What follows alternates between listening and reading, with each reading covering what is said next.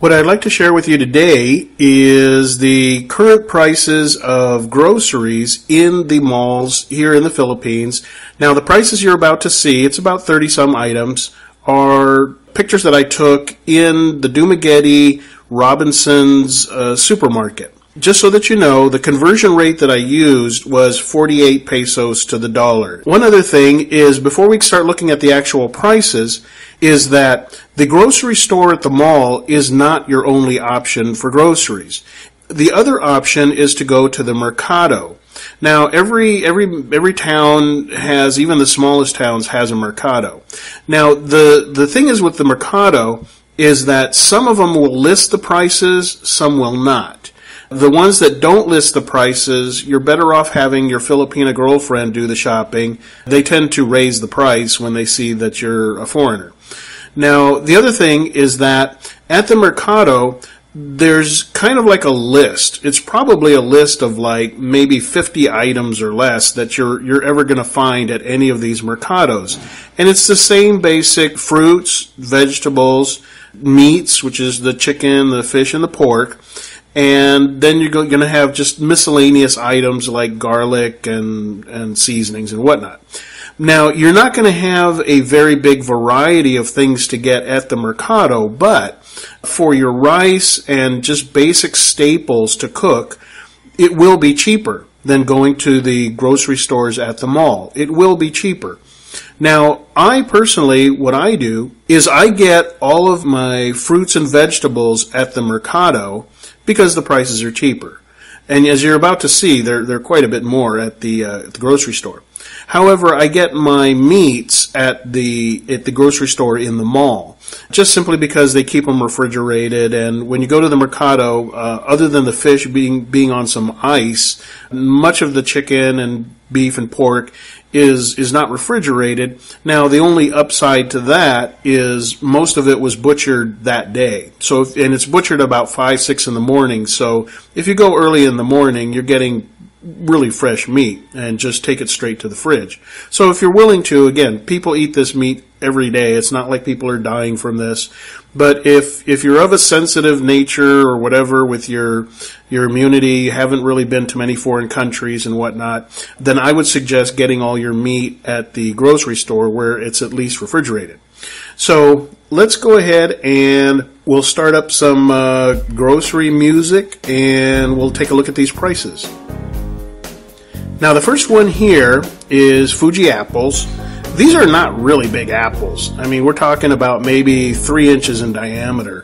So at 35 pesos a piece, that comes to roughly 73 cents uh, each apple, which is, in my mind, kind of expensive, especially since in California we can get apples that are even shipped in from Washington all the way down to Southern California and we could get maybe for a dollar fifty the price of two apples uh, here in the Philippines. Uh, for a dollar fifty, we can get an entire bag of apples. You know, it's like maybe three pounds worth of apples.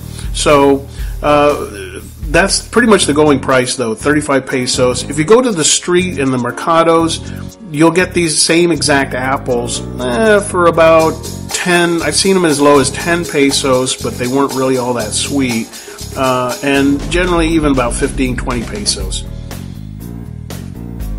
Now here we've got uh, again the same exact apples except they've packaged them into little six packs, and 210 pesos works out to about four dollars and thirty-seven cents. Here we have the same exact price for oranges, 210 pesos for six oranges. Again, these are not really big. These are not like the big Northern California oranges that are big as a grapefruit. Uh, these are more like three inches across in diameter. And that's uh, $4.37 for six oranges. Over here we got eggs, 73 and a half pesos. Uh, that works out to $1.53 for one dozen eggs and that's that to me is a reasonable price. I the last time I bought eggs, which was quite a while ago in California, I think it was basically about the same price. Here we have bread. Now, when it comes to bread, the bread you see here, the high fiber whole wheat bread, that's about the only bread I really like. They do have many other options, uh, mostly white bread, but what you'll find is that you're not going to get truly white bread that doesn't have sugar in it. For whatever reason, I guess they just love having sugar in the white bread, and it, it tastes kind of bizarre to me. Um, maybe you'll like it, I don't know. I mean, plenty of people here buy it. But um, to me, it's and, and the other bread, the white bread, which is uh, again kind of sugary sweet, it's a little less expensive. But I'd rather just pay the 150 for the high fiber wheat bread and call it a day.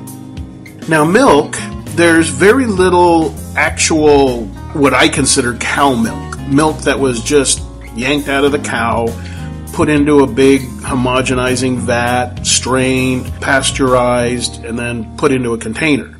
That type of milk, there's very little of it. I hardly ever see it.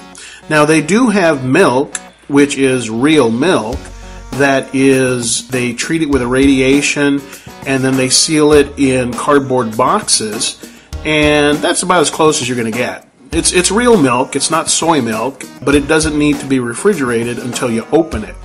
So that that's mostly what you're going to see is either the boxed irradiated milk or you'll see the powdered milk and soy milk. Uh, what we got here is a container of powdered milk drink. Uh, they have it both in chocolate and you know there's this one is Nestle. There's another company called Alaska, and it's it's kind of expensive considering the the local earning rate try and keep in mind with these prices that many people that have jobs only make roughly about uh, three to four hundred pesos a day. So what you're looking at here at 218 pesos is about half a day's wage for a lot of people. This particular package of powdered milk drink uh, comes out to $4.54. This is the other brand that I mentioned, the um, Alaska, and that one is uh, 271 pesos, so it works out to about five five dollars uh, for for the same package. It's just a different brand, is what it is. Here we have uh, longanisa. Now, longanisa is just one of my favorites. Um, it, it, you know, it's if you like, uh, say, sweet Italian sausage, uh, then you'll like longanisa. I like I like it. Now they're nine pesos a piece, Eh, which doesn't really sound like much. I mean, it, it converts to 19 cents each, so you get a 10 pack for $1.90 which is pretty reasonable. I believe Farmer John sausages there in the United States go for much more than that. But, uh, or not much more, but a little bit more than a buck ninety. So uh, I would say that the price is comparable here. It's it's nothing outrageous, but I like longanisa. But just to warn you, it is a little bit sweet, so you know, just so you know. Now, when you come here, there's just a wide variety of hot dogs. They have entire hot dog sections. This is sort of the deli section of hot dogs, where you just get some tongs and pick them up yourself. These go for 25 cents each, the ones that are 12 pesos. So to get a 10 pack is $2.50. Now, I've seen at different grocery stores up to two, and we're talking about each side, so really it's four aisles of just frozen hot dogs.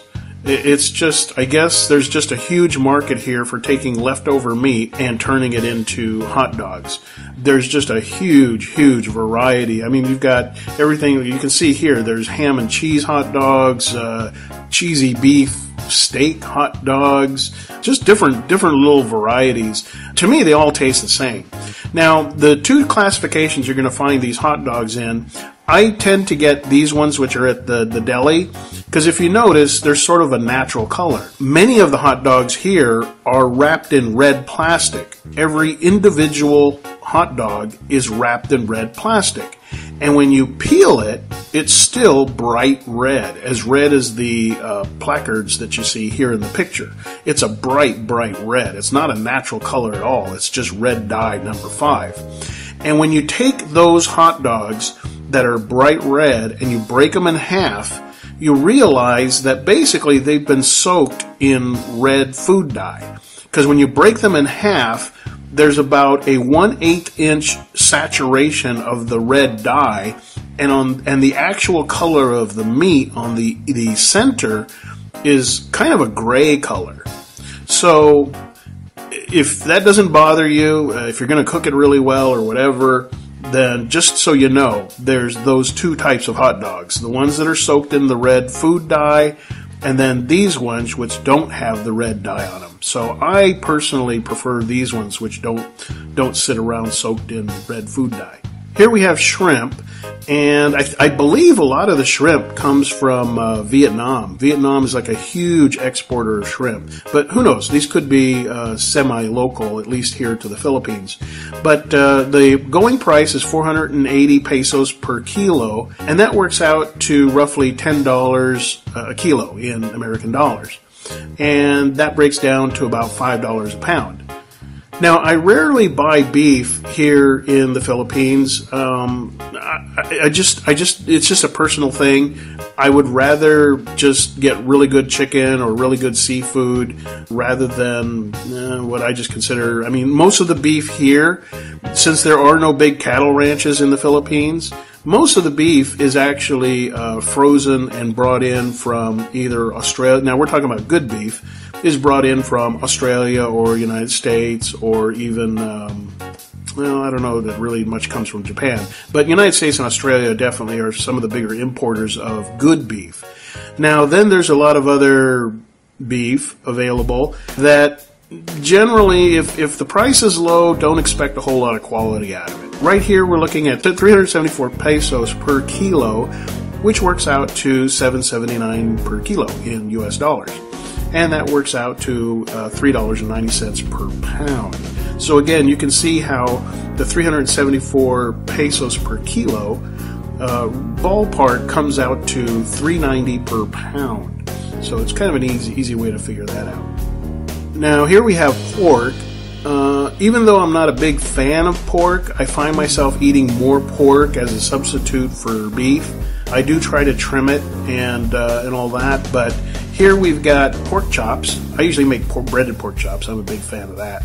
These go for two, 217 pesos per kilo, which works out to 226 per pound or $4.52 per kilo. Now here we have ground beef at 331 pesos per kilo, and again that works out to about $3.44 a pound. Now the thing with the uh, the ground beef here is, and I've, I've gotten this from a lot of expats and I've experienced myself, it tends to run a little on the dry side. I don't know why. It just doesn't seem. Maybe it's because there's just not a lot of fat in it. Maybe the cows that they're making this from just don't have much fat on them. I don't know what the deal is. But to get around that, what I've done is I'll take, when I mix to make, say, for instance, hamburgers or meatloaf, is I'll take, say, for every one pound of beef hamburger, I will hand blend it with one pound of pork hamburger, which does have fat. And that gives it a bit of taste. And of course, you add in your salt and your pepper and your seasonings and whatever you like to put in it. Now, here's my personal favorite when it comes to meat is chicken. I, I tend to buy a lot of chicken. I probably eat three times my body weight in chicken every year. I'm just a really big fan of chicken. It's lean. There's so many different ways to cook it. You can use it for soups. You can you can fry it. You can barbecue it. You can do a million things, uh, a million different ways to cook chicken. Now here we've got it at 148 pesos per kilo, which works out to about $1.54 per pound, $3 per kilo. I tend to get the, at least, like for instance, if I'm shopping for a week, I'll get at least five of the biggest chicken breasts, which you see here.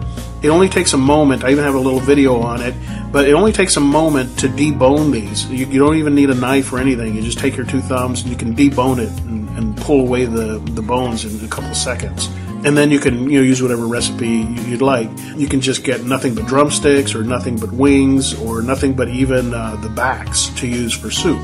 Here you see just the uh, chicken drumsticks. 168 pesos works out to about $1.75 per pound. And I I don't know. I haven't been shopping in the United States recently, but it seems like a fair price. Uh, works out to three dollars and fifty cents per kilo in U.S. dollars. Now, if you want to buy a whole chicken because you plan on roasting it or whatever, you just want to have a whole chicken. Uh, those are going for 140 pesos per kilo, which works out to about uh, $1.46 per pound in US dollars. And then bathroom tissue.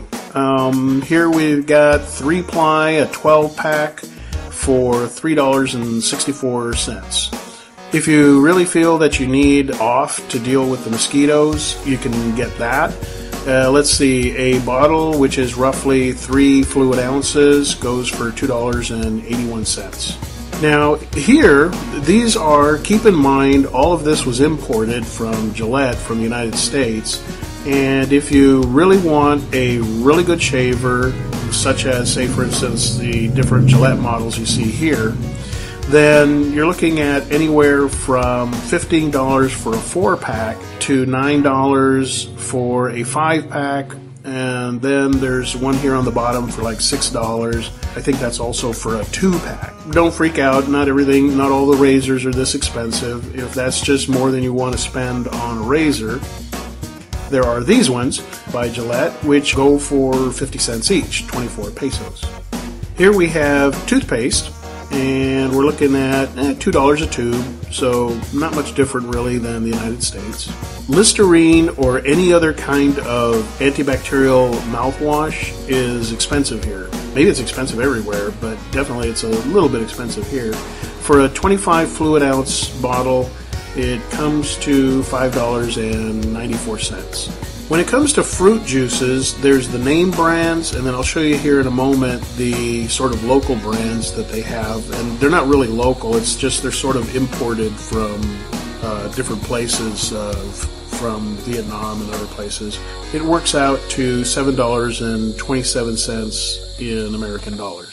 Here we have the other juice. Uh, this one's called Happy Day. Usually it's not a pure juice. Like for instance, this one says cranberry, but when you actually read the ingredients, it'll be a mixture of mostly cranberry, and then it'll have either grape juice or apple juice. A lot of them use grape juice or apple juice as kind of a filler. Um, but this goes for 120 pesos for one liter, and that works out to $2.50 American. Peanut butter. Uh, this is a 16 ounce jar and goes for 4.96. To me, that seems a little expensive for such a small jar. I don't know. Maybe maybe peanut butter's gone up uh, there in the United States. I don't know.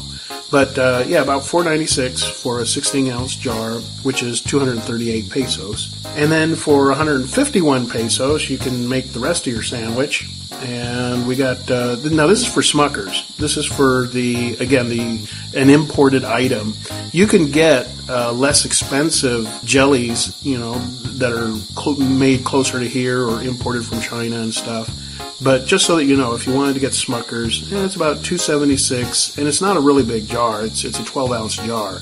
To kind of put that in perspective, a can of Coke is, I believe, 16 ounces. And booze. Let's see, I did a more detailed video on, on the cost of different types of booze uh, when I was there back in Bohol. On this particular day, I just checked out two. I just checked out basically the local brandy, which is Emperador. That's like the, the big brand here. This one here, the Emperador brandy, uh, this one's going for $1.85 for a 750 ml bottle. That's 25 ounces, and that's at 89 pesos. For Carlo Rossi uh, wine, uh, you're looking at 235 pesos, which works out to about $4.90, uh, again, for a 25 uh, fluid ounce bottle. That's your standard, you know, pretty much standard size wine bottle.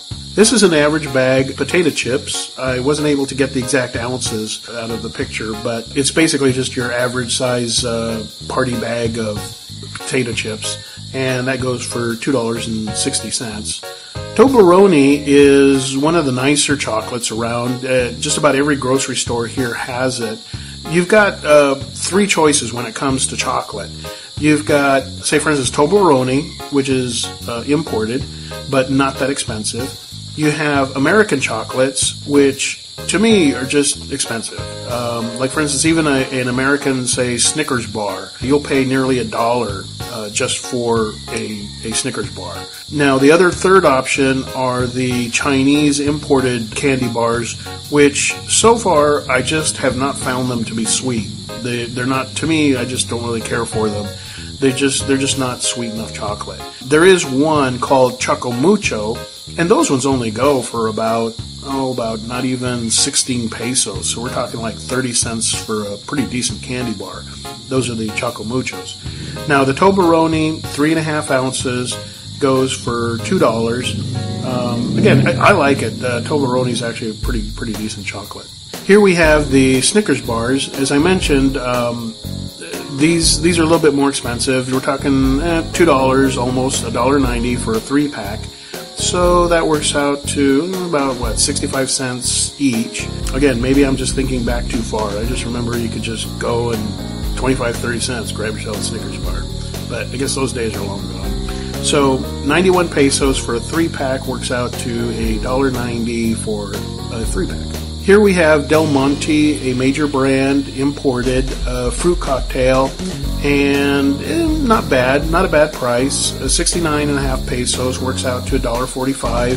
This is like your basic average uh, four inch wide can of, uh, you know, maybe five inches tall of fruit cocktail. And the price is about the same for pineapple. Here we have Kellogg's Corn Flakes. Here in the Philippines, there I've not really seen a big wide variety of cold cereal. They do have it. There there are different brands available, but not like an entire aisle like you see in the United States of 30 different types of cereal, you know, four kinds of Captain Crunch and that sort of nonsense. Here, it's it's kind of a smaller uh, selection and what you're looking at here is 185 pesos for a 17 and a half ounce box, uh, which works out to about $3.85.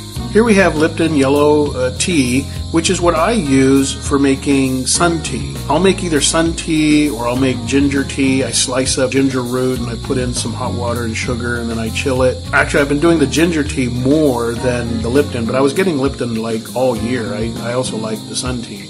And for a box of 50 bags works out to 325, which is to me a pretty good deal. Uh, that's 156 pesos, works out to 325 in US dollars.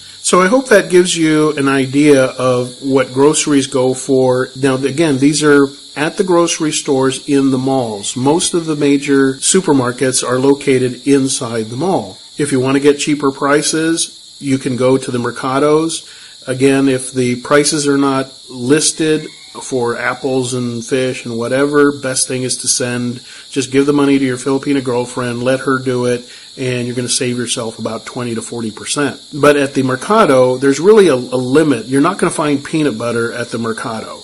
You're not going to find a lot of things at the Mercado because essentially the Mercado is, is going to cover stuff again like just basically fruits, vegetables, seafood, chicken, pork, and then just odd things like chili and MSG and just little odd items like that. Not a lot of wide variety at the Mercado, but the prices are cheaper.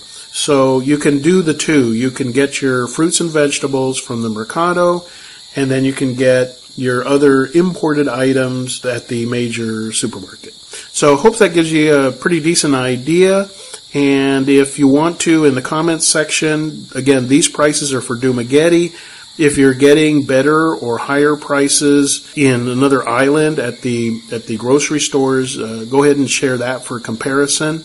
Um, it would be interesting to see just uh, what what the price range difference is between Dumaguete and say Iloilo or Cebu. All right, so I'll talk to you guys later, and we'll cover something else. See you then. Bye bye.